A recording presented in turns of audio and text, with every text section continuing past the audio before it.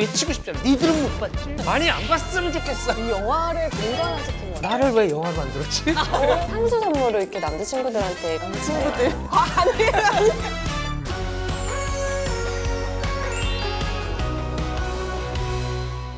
네 안녕하세요. 안녕하세요, 안녕하세요. 씨네테이블 방송 나가고 나서 주변 반응이 어떠세요? 저 같은 경우에는 저희 요리 아바타들 때문에 네. 우리 김은아 푸드 스타일리스트님에 대한 질문이 많았어요. 실제 아. 캐릭터가 저러냐? 어. 저렇, 저렇다. 저렇다고 했는데. 오늘 시네 테이블의 메뉴는 마담 프루스트의 비밀 정화 속에 허브티와 마들렌 그리고 슈게뜨인데요.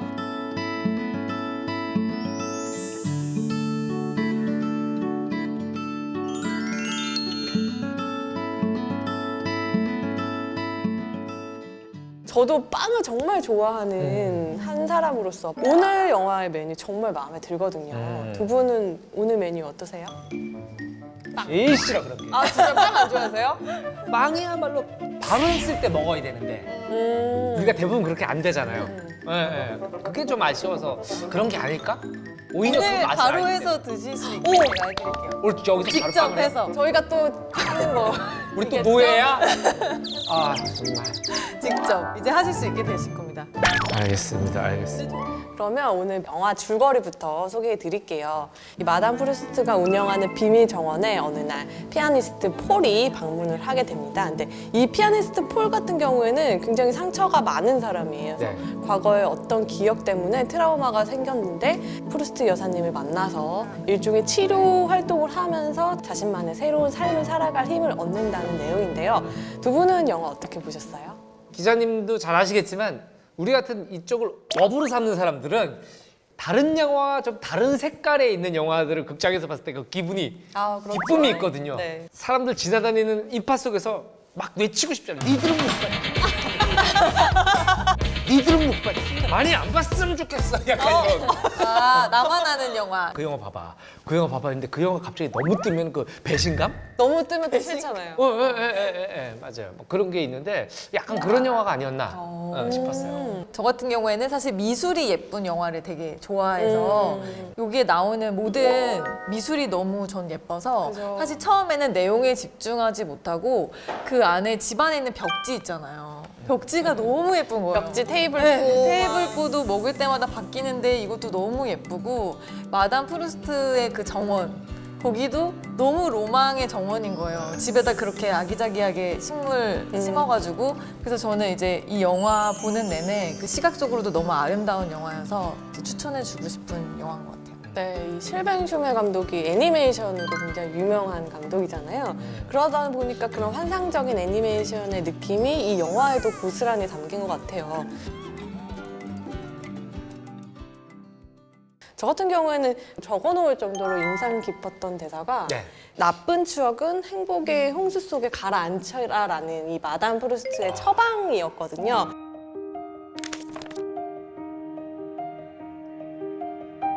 Les mauvais souvenirs, faut les noyer sous des flots de petits bonheurs.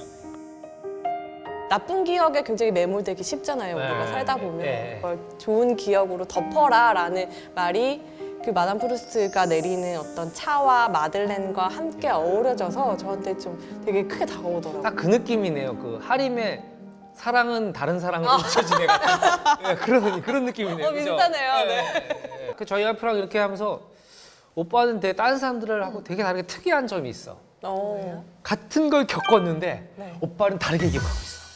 오. 유년 시절에 있었던 어떤 기억들이 있는데 저한테 저희 와이프 먼저 들었을 거 아니야. 너무 웃긴 일화야. 근데 내 동생한테 나중에 들었더니 어 오빠가 그렇게 그렇게 알고. 나는 그때 울고 너무 슬펐는데 나는 걔가 그 울고 슬픈 거 자체가 난 웃겼다고 기억을 하고 있는 거고. 아. 음, 그러니까 우와. 약간 저도 모르게 방어 기제로 음. 그 감정에 도움이 되지 않을 것 같은 것들은 이렇게 해서 저쪽에 더 던져버린 것 같아요. 오, 이 영화를 거의 인간화시킨 것 같아요. 마, 나를 왜 영화 만들었지?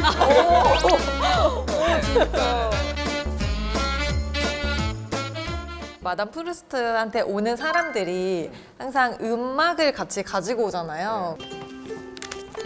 I am a disco queen. 그래서 그 마담 프루스트도 기억, 뭐 쌤, 추억은 음악을 좋아하거든 그런 말을 하잖아요.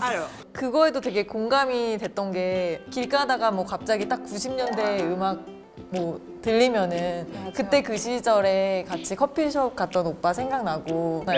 그래서 약간 음악과 음식을 사람들이 그거를 경험하면서 추억을 회상하는 게 나도 저렇지 이런 생각을 하면서 많이 공감을 해서 그 대사가 인상 깊었던 것 같아요.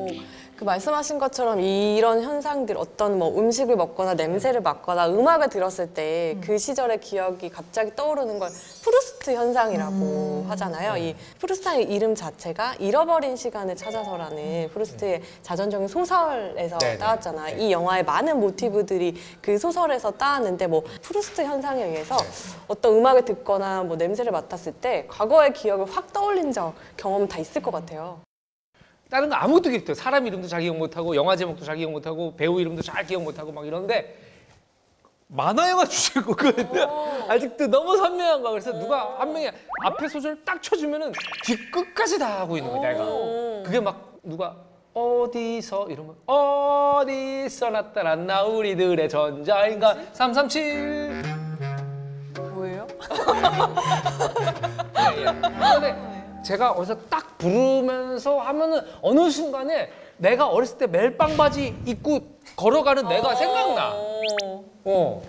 그때는 TV가 얼마나 귀하고 만화가 얼마나 귀했겠어요. TV 앞에 가, 가면 하루 종일 그것만 보는 거예요. 이렇게 해가지고 그런 표정으로 너무 갈구하니까 아, 뭐, 아, 막 보고 있는데 엄마가 준아 준아 왜 왜? 가 시장 가서 두부 좀 사와라. 좀 사오라니까. 아이씨. 이렇게 이렇게 해면 엄마가 아 엄마들 50그 원을? 빼먹었을까? 50원을 딱 줘줘요. 그러면- 두부가 50원이었어요. 네. 그러면 손에 딱 줘주면은 으아! 그래서 그 시장을 뛰어가. 으아! 다행히 시장 초입에 있으니까 아줌마 두 그럼 아줌마 웃어 웃으면서 두부 이렇게 쭉 줘. 그러면 들고서 으아! 하고 다시 집까지 뛴단 말이야. 집에서 엄마한테 두부를 주면은 거의 끝나가. 뭐 얘기하다 이렇게 된 거예요? 아무튼 그렇습니다. 예. 감독님의 기억인데 막 얘기하면서 저희도 그때로 다 빨려 들어간 느낌이 나요. 멜빵 바지 입고 계신 줄 알았잖아요. 어, 두부 여기 앞에 있는 줄 알았어요. 기자님은 어떤 저요? 저는 연애를 할 때 네. 우리가 흔히 주는 선물 중에 하나가 향수잖아요. 음. 저도 향수 선물을 이렇게 남자친구들한테 꼭 네, 네. 했었는데 네. 그러니까 과, 아니, 과거에 만났던 네, 헤어지고 한참 지나도 그 향수 냄새가 굉장히 어머. 맞아. 그래서 뭐 어디 길을 지나가다가 내 옆에 지나가면 이렇게 모르는 남자한테서 내가 선물했던 그 냄새가 나면은 한참 전에 막 10년도 더 된 일인데 생각나고 아 진짜 그런 게 현실에서도 있구나. 어, 네. 옛날에 그 김선아 어, 씨가 광고 데뷔했던 있었잖아요. 광고에 딱 그런 게 있었어요. 여자랑 딱 스쳐 지나갔는데 김선아 씨가 싹 돌아보면서 낯선 여자에게서 내 남자의 어. 향기를 느꼈다. 맞아요. 어 맞아 그런 거 카피가 있었다. 있었어요. 맞아. 어, 어머, 그럴 수 있겠다 진짜 그 향수를 계속. 생각이 나더라고요. 음. 그러면 영화 속에 아름다운 장면들이 많았는데 기억 남는 명장면은 뭐가 있을까요? 저는 그 아스파라거스가 들어있는 차라고 하면서 그 차를 주잖아요. 근데 그렇게 주면서 이걸 먹으면 기억을 씻어내서 오줌으로 빠져나가? 이런 말을 해가지고 그 다음 장면이 진짜로 소변을 보는 장면이 나오는데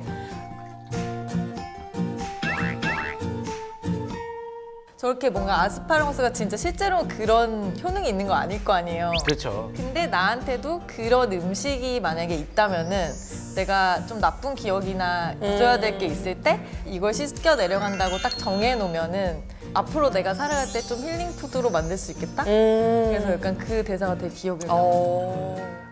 기자님은 어떠세요? 저는 그 지금 계속 얘기하고 있는 허브티 마들렌 슈게트 말고도 브랜디에 절인 체리가 있거든요. 어, 맞아.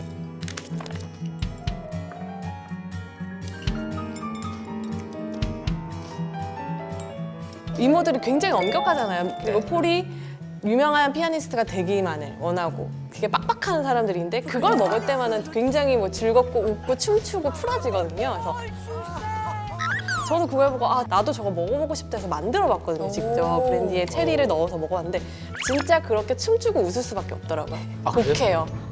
독해요. 세요. 네. 오. 그 특히 체리의 안에 술이 스며들기도 하고 이 체리의 단맛이 그 브랜디에 이렇게 다것 그래서 같아요. 나중에 그 브랜디를 먹어도 약간 체리 향이 나면서 달달하고 엄청 맛있거든요. 그래서 한번 그거 해 드시고 좀 잠깐이나마 좀 relax 되시면 좋지 않을까 생각합니다.